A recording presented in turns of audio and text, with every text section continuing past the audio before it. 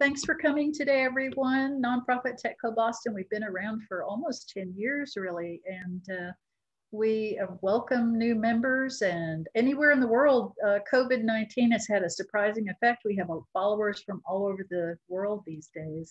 So we welcome them, and anyone can join our programs. They're all free. Uh, our tech club, that's our hashtag. We're part of a network of tech clubs across the nation and the world. We are allied with NTEN, Nonprofit Technology Network, and with Net Squared, which is changing its name to TechSoup Connect. So be watching for that change. But um, again, uh, programs are free to all, but look, we have a new logo. I put that in the margin. We do have some great programs this year, and here is a list of some of them. We have uh, new uh, June and July programs. We're even going to have an update from uh, uh, online on Zoom. So please plan to join us, and those events are all posted there. We are also going to tag team with uh, TechSoup Connect on their Bevy Labs platform and it's going to take us a few weeks, we'll be both there and we will be on Facebook. So you will be able to find us in both places. This is our mission and uh, what we're about. We are entirely volunteer run and uh, our guest speakers speak for free. So uh, it's really a nice community activity and we try to help individuals and nonprofits seeking cost effective tools and techniques to make their work easier and more effective. And anytime you should reach out to any volunteer on Facebook, and they're all on there. And uh, if you have questions of any kind, we're happy to answer that. We deeply appreciate Capital Factory, our entrepreneurship hub in downtown Austin. And uh, they've been a sponsor the past few years, and we love being a part of that community. It's really uh, inspiring. We also have wonderful volunteers. If I mentioned earlier, you can contact any of these folks uh, anytime. They're all on Facebook. That's been our primary way to message. And uh, again, we, you know, they're sharing on social. They all have different expertises. So really reach out and ask them. And here are some links. I posted these on the Facebook group page also as a downloadable PDF and also uh, a PDF uh, magazine style on IS ISSU, ISSUU. And um, so you can find us on all of these places where, where our allies are. Our future event uh, hub will be there and also on Facebook, NTEN We Love, and we got started by NTEN our Facebook group, which you are probably on now. And also, if you want to volunteer, mostly our volunteer with COVID went, we went online on Zoom. So uh, mostly it's sharing, sharing, sharing, getting the word out and recruiting people to sign up and join us on our calls. So, so that's that. Now I'm going to stop sharing, I think. there we go.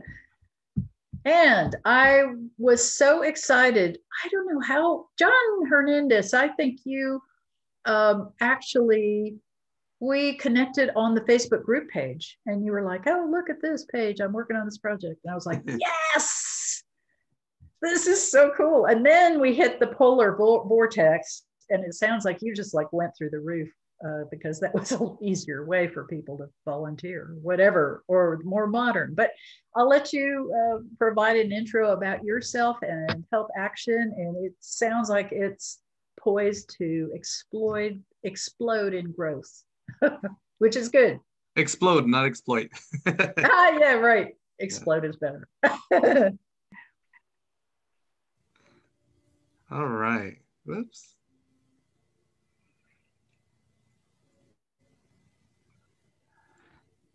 So, Help Action is a program launched by the Nonprofit Exchange, and I am John Hernandez, the, the executive director of the Nonprofit Exchange. We're a 501c nonprofit, and we've been around for oh about six years currently. Uh, we started in El Paso, Texas, but we work with nonprofits all across the country. Uh, we help with capacity building uh, tech solutions uh, but primarily we do a lot of fundraising tech solutions. so Help Action started as a concept we had about a year ago in El Paso. Um, we had a situation where uh, El Paso was deemed a, a, sanctuary city, and we had a we had a lot of refugee families being dropped off in the middle of the night in our downtown. So the a lot of our orgs were constantly posting to Facebook, you know, we need 100 meals, you know, who, who can do 100 meals? We need 100 blankets. And watching kind of the chaos ensue of trying to coordinate people on Facebook um, to bring meals to a specific spot and bring what meals they could and making sure you don't get too few meals, but really you also don't want to go get too many. You don't want to have 200 meals and then you have burned out volunteers. So our the original idea for this system was a way to manage resources amongst volunteers during a collective emergency. Well, COVID hit and it shook up a lot of groups.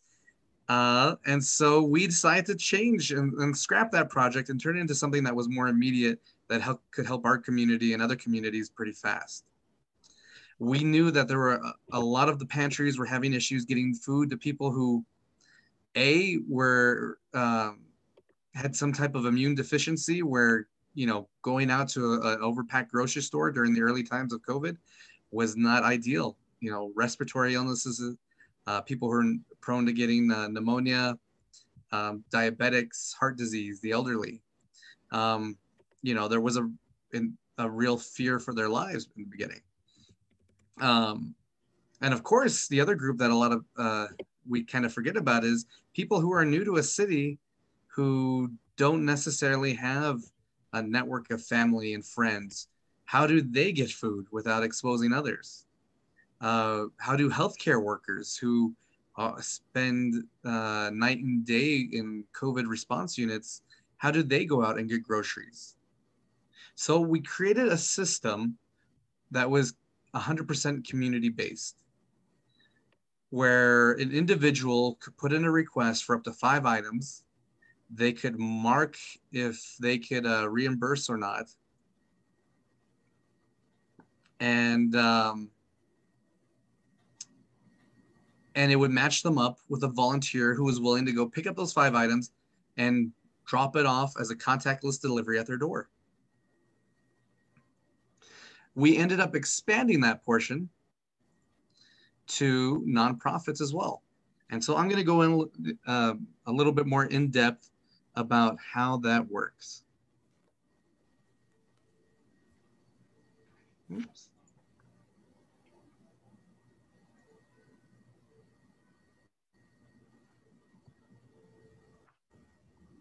So our system allows either nonprofits, a pantry, to put out a request to get food from the pantry to a person in need.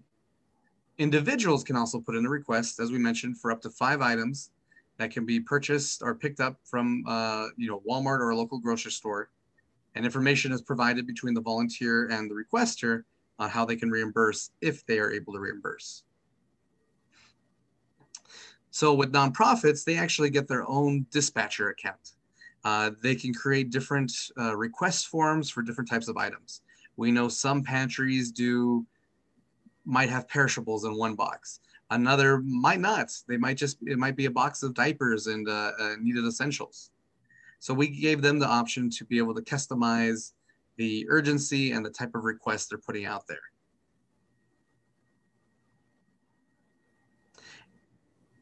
And it all starts with a text message everything we do is 100% web and text based. There's no app to download. You don't have to create a complex login and password that you're going to, you might forget or might not know on the fly.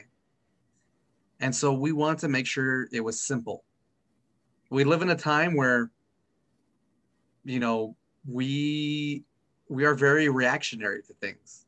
Uh, planning, you know, even a week ahead can be hard for some folks uh, you know, wanting to volunteer uh, is something that's on everybody's mind, but actually setting aside, you know, three to four hours at a specific location on a specific day to volunteer is tough.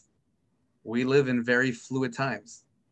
And so we wanted to make sure that the system was just as fluid, a way for people to volunteer when they had the time and when they saw that there was a, a great need for it.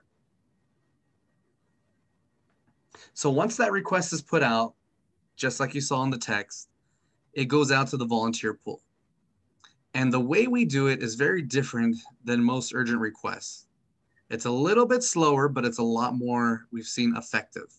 So the key thing is text messages are very valuable. They have almost a 99% uh, read uh, open rating. You, we don't want to abuse that.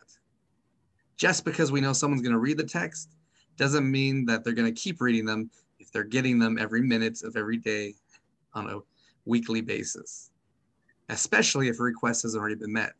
So what we do is the request goes out to the volunteers based on an, algor- an algorithm where we rank volunteers on their consistency, uh, the last time they received a request, if they've had the chance to take on a request, uh, how new they are to the volunteer pool, and of course their location and proximity to the, uh, the final destination for the items.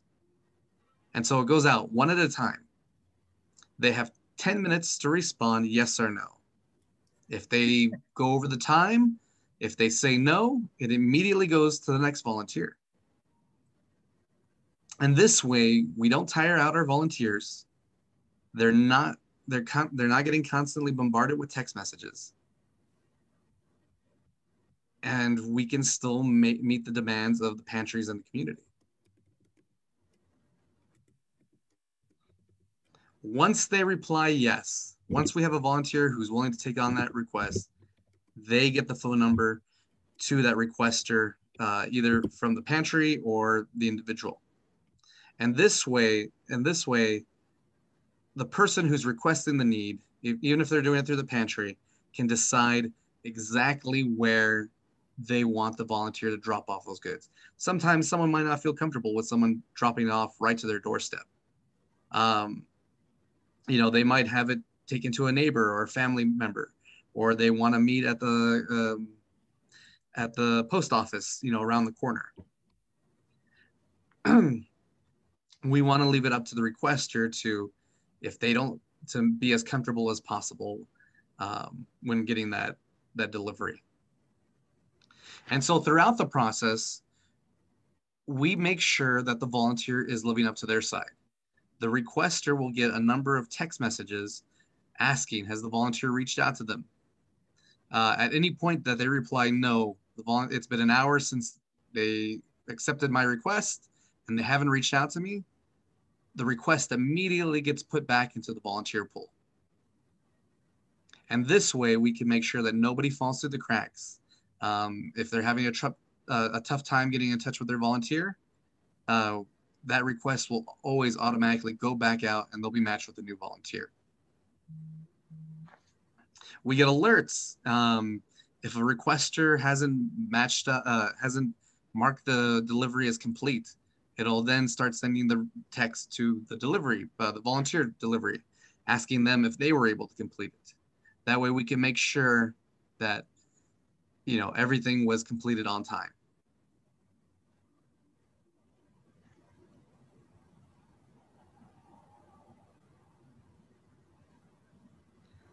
Um, so I know one of the things we've launched this program in El Paso, Texas. Uh, we work with about three different nonprofits out there, helping coordinate their pickups and deliveries to those who can't make it out. Uh, we also do it out in Southern Illinois. We work with one of the largest pantries in Illinois, helping them expand their range to people who, again, are homebound, who can't make it all the way out to the pantry. Um, you know, in some cases, you know, we've had people who have COVID um, who are stuck at home and the pantry has no way of getting to them. And this system has allowed them to expand their services. Uh, we started recruiting volunteers in December in Austin, um, you know, slowly building up that community volunteer base. And when the storm hit, we kind of pushed it through the door even harder. Uh, we were able to work with a number of social media influencers in Austin. And overnight during the storm, Austin rallied together and we were able to recruit over 600 volunteers. We, com- we completed over uh, close to 200 emergency requests during the storm. And, you know, the number one item that was requested uh, was water. Hmm. You know, these were individuals who were relying on their neighbors, and their neighbors picked up the slack and went out and made sure that everybody had what they need when they needed it. And so I'm going to play a quick video that, you know, one of our uh, one of the families that we were able to make a drop off to was kind enough to share with us, um, and just gives you an idea of even though Austin is so diverse, it came together during a very tough time.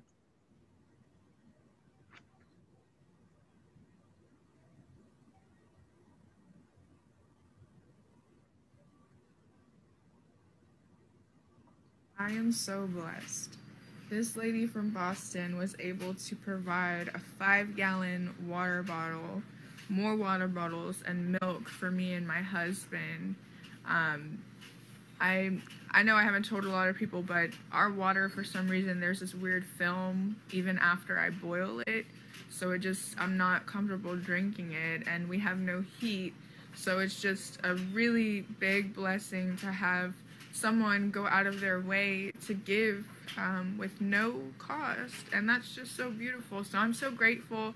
I'm going to go ahead and send the link or include the link somewhere. So if you're in the austin area you can be taking advantage of their help and and just what they have to offer um, if you're really suffering. I am so Yay. And so, um, that is the story of how we've brought Help Action to Austin. Uh, we're currently working with, uh, as part of a food coalition with, um, you know, the local United Way and the city, and seeing how many other pantries we can get the service out to. hmm Are you working with Meals on Wheels, John? No, not currently. They, um, since this is more of an on-demand system, Mhm. it's going to be for those emergency uh, calls that come into a pantry Mhm. um, where you know it might be someone new to the pantry someone new to the city uh, who needs that assistance quickly Okay. Well, yeah, it occurred to me Meals on Wheels, um, you kind of have to schedule. You're Yeah. scheduled to receive the meal packets, and then those packets are for like a couple weeks or something. So, you're expanding. You're uh, from El Paso and kind of got going in El Paso, but you live in Austin right now. And what do you see as the future? How are you expanding this? Because I, I have no doubt it's going to keep going. In right now our goal is this uh, spread throughout the rest of texas um, we're currently working on getting a, a large volunteer base built in uh, las cruces new mexico to serve southern new mexico Mhm. Um, we're in talks with a few groups in Midland to start kicking it out over there. Um, but it's an easy to use system. Um, and all you need is a community who's willing to help. Yeah. Have you talked to the folks at GivePulse, perchance, the volunteer management platform? I no, I haven't. You know, I think they've talked to our tech club before, and I'm on there uh, from other volunteer projects, including uh, the tech club. But um, I there, and I believe that they're based at Capital Factory, which is one of our partners. But it seems to me they would really, they may be on, watching on Facebook right now, but um, it seems to me you should get to know them. They were kind of homegrown, but they have expanded across the United States and you might be able to uh, get them to offer you know this special way of volunteering. Like theirs are very planned out you know you sign up. It does provide a lot of really great information about your volunteers and helps you val- validate the number of hours they provide if you want to and that type of thing. But basically they need to know what uh, you're up to. So yeah GivePulse. James mcgurr has been my contact there in the past. Really nice guy. But really they're plugged in now especially like it seems to me with texting it maybe is a bit of a younger audience not necessarily but case No, we, we, we have a platform that we use with, you know, over a hundred different nonprofits. Uh, we use it with you know, uh, fundraising for like Texas Tech and Texas A&M. Yeah. Uh, and Mhm. it, it, uh, text works across all generations. I mean, that's Yeah. the thing that we we're able to Mhm. say. Everybody knows how to at least text. You don't need a smartphone to be able to text. Um, you Mhm. know, we're if if we can write a letter, we can we can send a text message. Yeah. How did Um, you and come I see Gary this? made a mention of using Nextdoor, and so actually, when we were Oh, first getting uh, launched in uh, El Paso, we used uh, Nextdoor, and we uh, encouraged others who were part of that that group in El Paso to to share the link. If they saw anyone that was in need on Nextdoor, uh, to share the link, they could put in a request, and that's how we were able to gain a lot of volunteers in the beginning stages of El Paso. Yeah, it looks like somebody um, says they have um, used it during the recent uh, ice ice storms in Houston and uh, hurricanes. Yeah, that, So that was Gary good. recommending uh, Yeah, I was going to say, do you? Um, I don't know. How can we, as the tech club, help? How can we get people enrolled, or what would you? How would we contact you? You know, or your your colleagues to get kind of signed on, or you know what I mean? Everything is done through the website. Um, you can request, there's forms for requesting if you want to launch it in your city. Uh, if we're not operating out there, um, you can sign up as a volunteer already and kind of wait for your city to come along. Mhm. Um, you know, there's, there's a, if you're a nonprofit, um, you can go ahead and sign up and make an account and you can actually start integrating your own volunteers into it. If you're, uh, if there's not already a volunteer base in your city.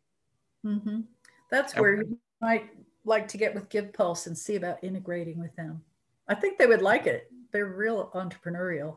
They are also in a lot of universities and serving campus communities all over the United States now. So, have you tied up with John with uh, Aunt Bertha, Aunt Bertha, that local Austin? No, I'm, I'm I'm slightly familiar with it, but Well, they've received lots of funding rounds. This is a, you know, database where you can find where there is food and shelter and that, you know, it's gotten to where it's really going to expand across the United States. And it, it's, uh, it may be that, and they're, because they're, I've been to their offices and talked to them, I've watched them grow for the past five, six years, and they're amazing. And they have great contacts too. And it's, what's nice is like you can, uh, download the app Aunt Bertha. It's kind of nice because it's like you can say, I want, this is what's happened to me. On my blog, I have a contact form. And I occasionally will get somebody who needs food, okay? They need something, they need shelter, and they just see that I'm a fundraiser, you know? And so I tell them to, and they're on, they're still online, even though that maybe they're not eating, but they have a phone, you know? So I tell them to uh, ask Aunt Bertha. It's really nice. I like the fact that it's not like, yes, I'm going to go to that homeless shelter. I'm so excited. You know, it's like, no, you know, you say Aunt Bertha and it'll pull up. This is what your Aunt Bertha told you to do. And so you go, it gives you all these listings. They've got it really wired all over the place. So it's going to keep growing, keep watching it. And um, it may be that there's a way to integrate in a small way, but I'm a big fan of Aunt Bertha. Because basically, I've in the past, when I've gotten those uh, messages, even when they Aunt Bertha wasn't started, I, I was on there. I'd be like, hold on, I'm to do the research because I'm a super researcher. I love Google. And man, I would find them and say, Where's your zip code? Where are you? you know, and uh, that happened during the last economic downturn, you know, around 2011 or so. That um, I was in actually in San Antonio and I was getting a lot of requests. And I will say this, you know, people think, um, you know, I'm a major good fundraiser and all that, but there is nothing that brings you down to earth like somebody asking you that saying they're hungry. Do you have any idea where i can get shelter or food? There is nothing like that. It like boom. I'm i don't care what anybody says you know? I'm helping this person right this minute. So when aunt bertha got started really right after that um, boy, I just became a fan because I could route people there, you know. So anyway, sorry, long story short, and a plug for Aunt Bertha, but you know, they're they're getting really sophisticated. So you might uh, check them out. But um, do you have any more? Have have people done more video testimonials? Is there a place they can even put that stuff up? Yes. Like- so actually, when um, their delivery is complete, uh, it shares a link with them that they can upload a video or write a testimonial. that is so nice. That is really really great. Very nice because I'm sure they're so thrilled right that second, you know, to mm, be getting that. Yeah, help. it integrates the that call for a testimonial into the the flow. Always really helpful. So hi, Ela here in Vancouver um, with TechSoup. Um, and actually, this is really interesting because a project TechSoup is working on right now is to basically rebuild our traditional catalog of software donations to nonprofits to make it more, much more of like a two-sided marketplace where any organization can come in and say, I have an, an offering, a solution that would be helpful to nonprofits. Um, and so we'll be opening up that catalog hopefully in the first version around September. And the first theme, the first focus area is around food insecurity. Um, so we've actually been doing these monthly series of apps addressing food insecurity events. The next one actually is this coming Wednesday. And I've just added you to the list of people I should reach out to as the the, ca- the whole program gets closer and closer to launch, because I think what you put together is really interesting. And of course, the first thing everyone's going to ask is like, and outside of Texas, and it sounds like there's a bit of some thought already around that. But can you give me a sense of your capacity and interest right now to move outside of your your original territories? Oh well, um, this system is ready to go. Uh, I mean, national very easily. I mean, like I said, all it needs is a handful of community members who want to do good, and then you open it up to the other pantries who need help making deliveries. Um, like I said, uh, we work in Illinois as well, not just, so not just Texas. Mm-hmm. Uh, we work with the Aurora Pantry, uh, and they're actually the largest pantry in Illinois right now. Um, so as we're going through all this and making our changes to the system, um, it's very easy to add. Uh, it's all automated to add other organizations and other cities. Cool. And I have a follow-up, more technical question. Like, what's the backend powering all those SMS messages? we use one of our favorite partners, and they've been a uh, during COVID, um, they helped out a, a, number of different organizations. They gave out grants. They gave out small grants to help with the resources. Uh, Twilio. Right, thank you. I was sort of going there because they've been another partner of ours. I'm like, huh. Now we're starting to put together a bit more of a story because, you know, so I'm going to just make that note because that that's interesting because they have been someone we've collaborated with in a number of different ways. Yeah, no, their conference is amazing. It's eye opening uh, really literally gives you ideas on how to create new tech to help nonprofits. Fab, thank you.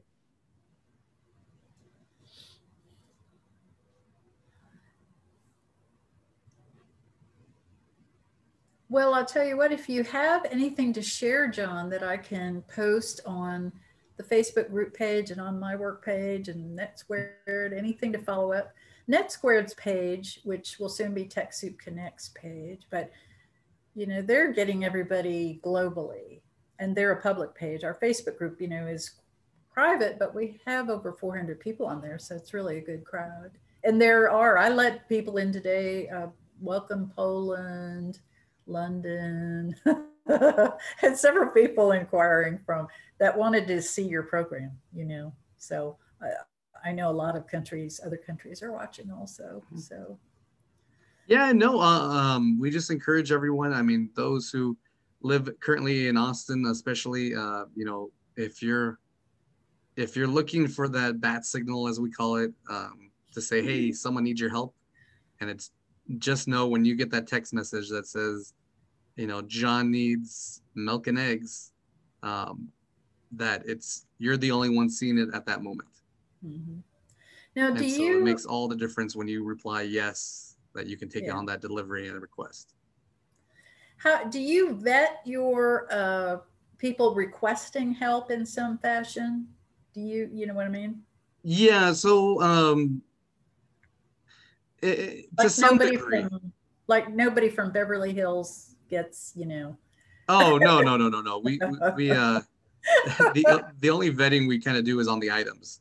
Um, Yeah. you know, but we haven't had anyone really go outside the you know basic essentials. You know, no one's asking for oh I need a new laptop or anything. Uh, and, and only because I mean not that they shouldn't get a laptop. It's just because it is it's a community program.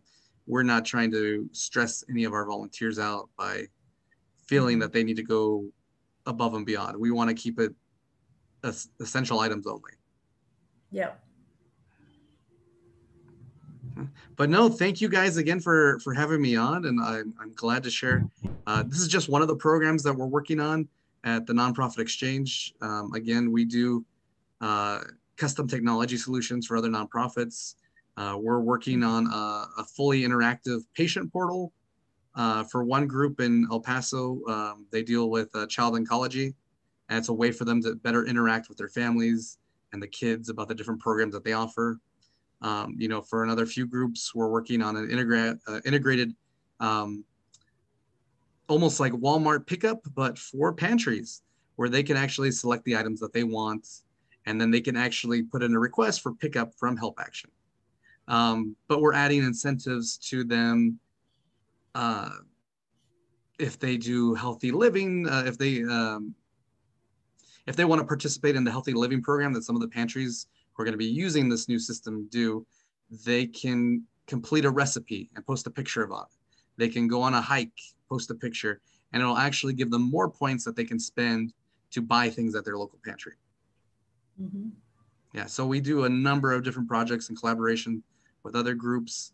Um, and then we do our own community-based ones like Help Action. Mhm. How did you get into this project exactly? How did I this used happen? to run an app development agency for about six years. Uh, we were in El Oh. Paso, we were in Washington D.C., and um, you know before we we kind of closed up shop, we were I was we were doing a lot of uh, environmentally based apps. Uh, we even had one that was featured on National Geographic, CNN, and of course South by Southwest um, about palm oil.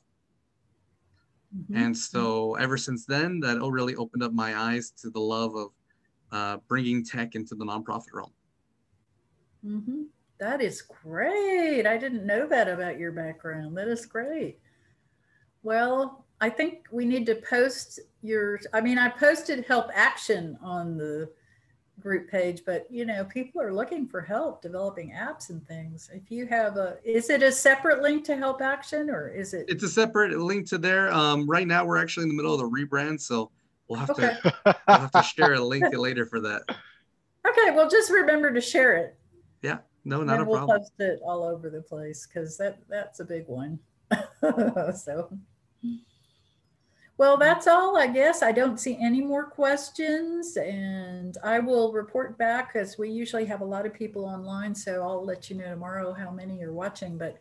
We find it just ratchets up over time. This is one nice thing about Zoom is people can tune in later on and watch the recording. So Eli will edit out the bad any bad comments and we'll, we'll post our our good version of the our recording today so but yeah thanks very much for taking the time really No, interesting no, thank you for having me. And uh, I'll be looking forward to your message, Eli. Perfect. Sounds great. Well, thank you so much for sharing. And uh, yeah, keep showing off all the other cool apps as they emerge into the world. We'll do, we'll do. All right. Have a good evening, everybody. Perfect. All the best. thanks thanks for again